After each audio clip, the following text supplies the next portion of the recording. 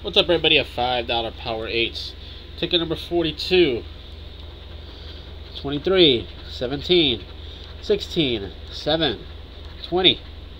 We got two 17s. We got a winner. Got two 17s. 3, 12, 15, 2, 6, and 10. So we got two 17s.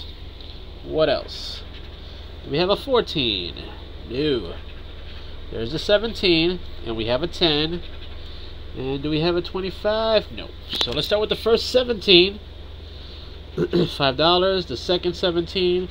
$5. And the 10. $5. We got $15 back. Alrighty, folks. Until next time. Later.